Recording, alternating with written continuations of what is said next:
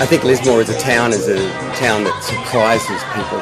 There it is in its um, rural location by the Wilson River. A bit of a sleepy looking place, but really it's quite a dynamic uh, town and certainly at tropical fruits time of the year, parties are on, it becomes a very dynamic, very alive, very friendly, very highly populated town, full of uh, visitors from all over Australia and indeed even other parts of the world, I should imagine.